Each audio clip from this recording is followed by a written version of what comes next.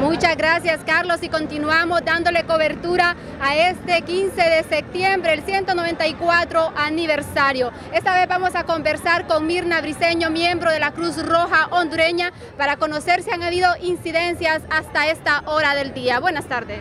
Buenas tardes, gracias por la oportunidad. Eh, pues los desfiles se están desenvolviendo con mucha normalidad. Tenemos diseminados alrededor del, desfile 120 voluntarios dentro del estadio y, en todo el recorrido.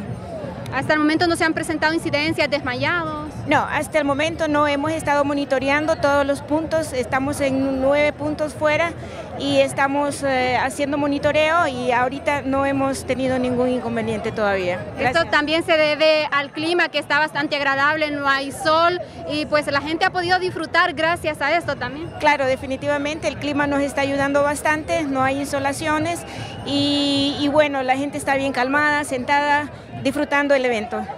Muchas gracias. Hemos escuchado de parte de la Cruz Roja hondureña que hasta el momento no se han presentado ninguna incidencia tanto del público como de los participantes.